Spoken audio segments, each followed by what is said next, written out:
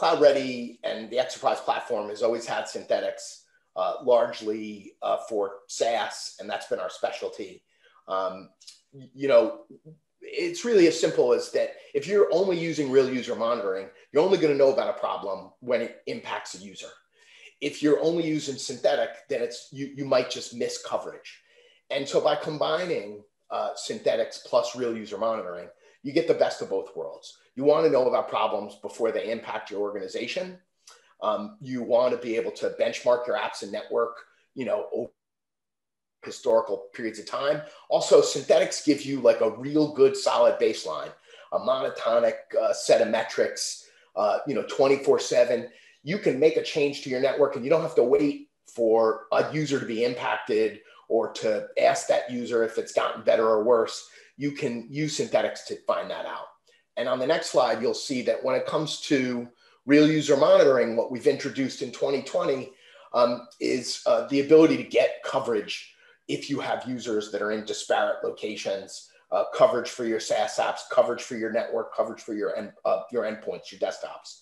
So we collect uh, you know, real-time metrics across all these devices, uh, as well as use a browser extension that can be deployed uh, via the Chrome or, or Microsoft Edge web store uh, to examine, uh, you know, a set, uh, only a, a, finite, a concrete set of URLs and uh, filters that you put in, and we can collect that data and and analyze it to make sure that you are not missing, uh, you know, poor experience for pockets of users or poor experience for users that might be in in different locations.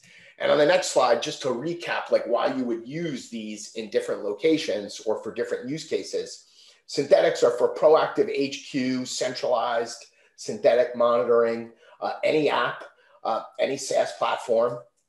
Whereas Exoprise Service Watch Browser is perfect for troubleshooting network and SaaS applications from a branch office, work from home users, mobile users, no matter where they are. Uh, and Service Watch Desktop is really for diagnosing the full set of um, you know Wi-Fi signals, um, uh, you know ISPs, hop by hop data for every app that they might be using, um, and and you know for the for the full set of uh, thick client apps and desktop experience. I think that's back to Andrew. Yeah. And just quickly to reiterate this too, I mean, we see this as um, very complementary capabilities, right? The uh, the real user you know monitoring capabilities can often help with you know doing root cause analysis because you know there might be things that are outside of um, you, you, know your purview and your and your testing that you can help find with um, real user monitoring faster mttr um, overall and enables that qualitative data ingestion because you have um, you know the the resident on the on the end user device you're looking at this in real time so you can verify some of those things. And on the synthetic it's exactly what jason was mentioning which is you know ability to be much more proactive as far as incidents that might uh, crop up. And i would also say that um, it can aid in that change management. So you know ahead of time if i'm going to push out um, you know, a patch or something like that, um, that I know that this is exactly how it's going to uh, impact the environment, and I can prepare for that um, in advance or make changes so that those disruptions don't happen. So I'd agree that both of these capabilities are very important.